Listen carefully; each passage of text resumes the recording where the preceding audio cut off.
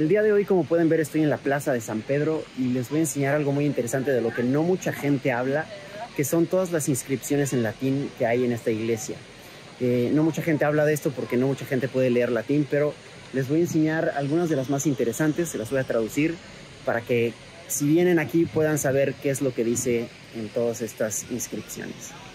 Al llegar a la Plaza de San Pedro, las primeras inscripciones que ves son las del obelisco vaticano. Hay una inscripción diferente en cada lado. Este obelisco formó parte de un proyecto del Papa Sixto V para expiar e integrar antigüedades paganas en el nuevo orden cristiano durante el Renacimiento. Los lados norte y sur del obelisco tienen inscripciones sobre la historia del propio obelisco. En el lado sur la inscripción dice Sixtus Quintus Pontifex Maximus Obeliscum Vaticanum disgentium impio cultu dicatum ad apostolorum limina operoso labore transtulit anno millesimo quingentesimo octogesimo sexto pontificato secundo. En español, Sixto V Pontífice Máximo trasladó laboriosamente el obelisco dedicado a los dioses del culto pagano al umbral de los apóstoles en el año 1586 en el segundo año de su pontificado. Y el lado norte del obelisco dice Sixtus Quintus Pontifex Maximus cruci in victae obeliscum Vaticanum ab impura superstitione expiatum Justius et Felicius consecravit anno millesimo quingentesimo octogesimo sexto pontificato secundo en español, Sixto V Pontífice Máximo consagró a la cruz invicta el obelisco vaticano expiado de impura superstición de manera más justa y feliz. 1586, segundo pontificado. Debajo de esta última hay dos inscripciones más pequeñas. La primera dice Dominicus Fontana ex pago mili agri novo comensis transtulit eterexit. Traducido como Domenico Fontana de la aldea de Mélide, una nueva tierra de Como, lo trasladó y erigió. Esto se refiere al arquitecto Domenico Fontana, quien llevó a cabo la gran hazaña de trasladar el obelisco desde su ubicación original al sur de la basílica y colocarlo en el centro de la plaza. Y debajo la inscripción más pequeña dice Petrus Macaranius fabricae sancti Petri curator, semitam meridianam publicae commoditate aire proprio fecit, anno millesimo octingentesimo séptimo. En español, Pietro Macaranio, curador de la fábrica de San Pedro, hizo y pagó con su propio bronce la senda meridiana para la comodidad pública en el año 1807. Con la senda meridiana se refiere al reloj de sol que se puede ver en el pavimento de la plaza, donde la sombra del obelisco se proyecta al mediodía en ciertos días del año.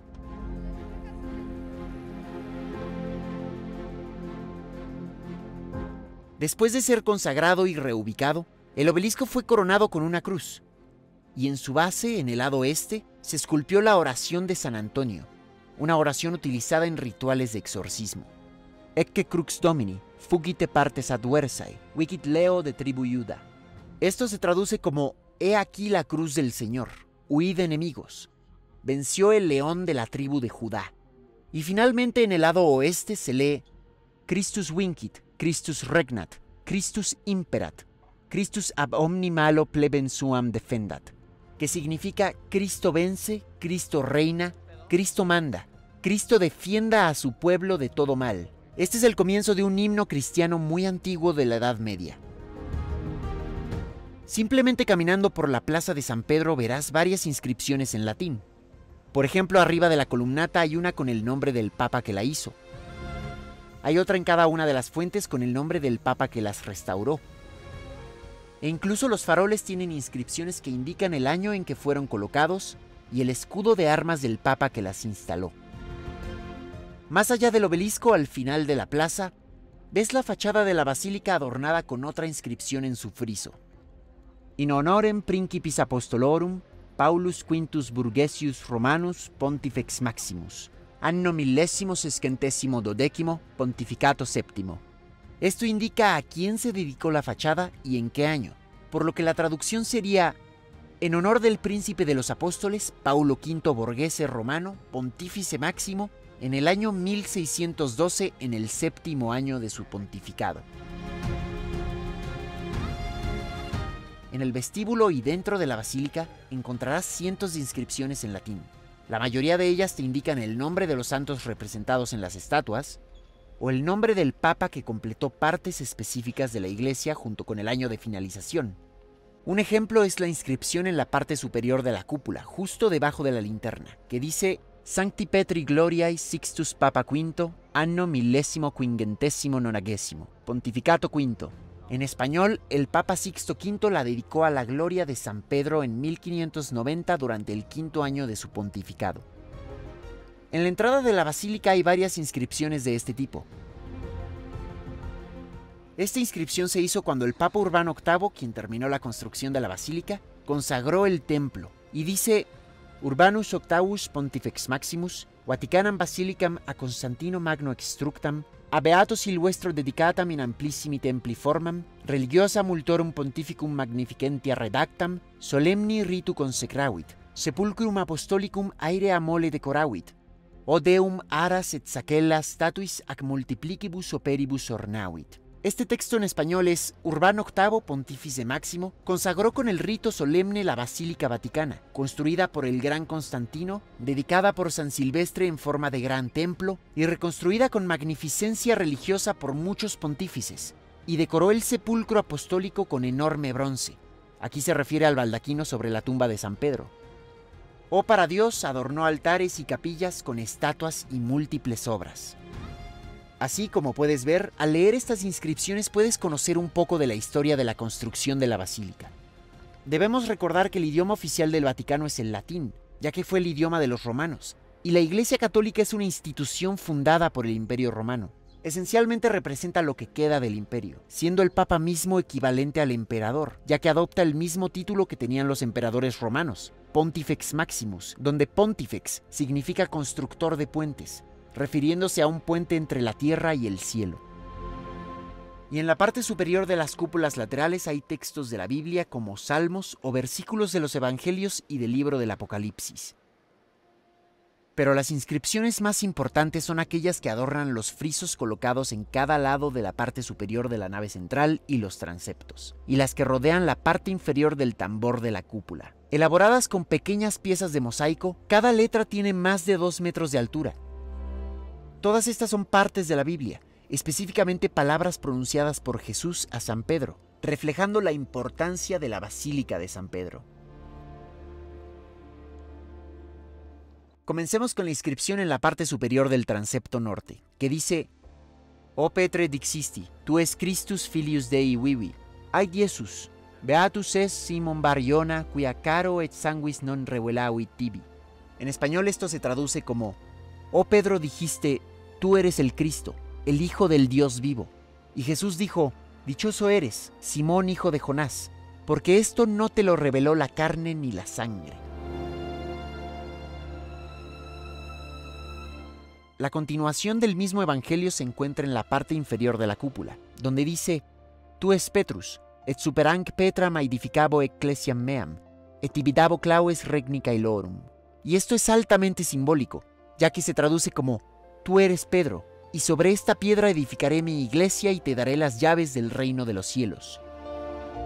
Y esto es verdad si tomas el texto de manera literal, porque justo abajo de esta inscripción se encuentra la tumba de San Pedro.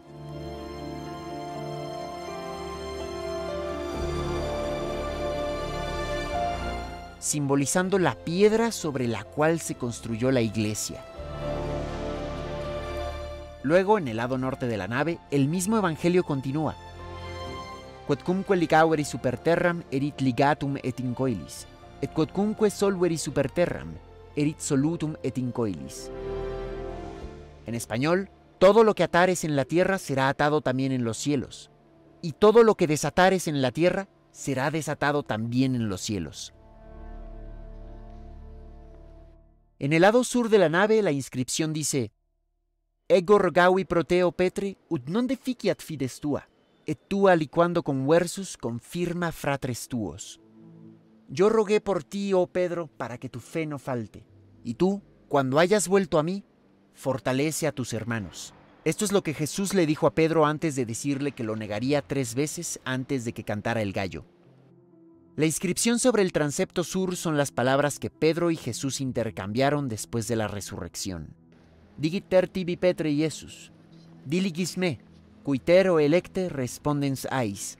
O Domine, tu qui omnia nosti, tusquis quia diligo te. Esto significa, Jesús te dijo tres veces, Pedro, ¿me amas? A lo que tú, oh electo, respondiendo dijiste, oh Señor, tú que lo sabes todo, tú sabes que te amo. Y a esto Jesús respondió con las palabras que están en la parte superior del ábside, inscritas en latín en el lado izquierdo y en griego en el lado derecho. O pastor ecclesiae, tu omnes Christi pascis agnos et oves, si vosquis ta arnia, si pimenis ta provatia Christu. Oh pastor de la iglesia, tú alimentas a todos los corderos y ovejas de Cristo. La razón por la que también está en griego es que los cuatro evangelios fueron originalmente escritos en esa lengua, antes de que el cristianismo se extendiera por el imperio romano y las escrituras fueran traducidas al latín.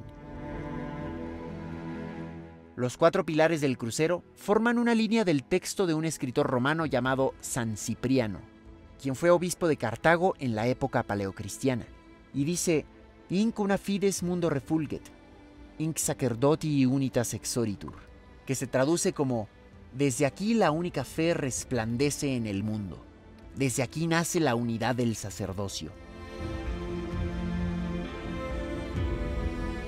Si visitas la cripta de la basílica, verás esta piedra con el nombre de todos los papas que están sepultados en esta basílica y el año en que cada uno de ellos fue enterrado. Y finalmente, hay una serie de inscripciones en el centro del pavimento de la nave, donde están inscritos los nombres de los templos católicos más grandes e importantes de todo el mundo, como la Catedral de San Pablo en Londres, la Catedral del Sagrado Corazón en Bruselas, el Santuario de la Inmaculada Concepción en Washington y la Catedral de Reims en Francia. También se incluyen la Catedral Metropolitana de la Ciudad de México, la Catedral de Milán y la Catedral de Colonia, así como muchos otros célebres templos.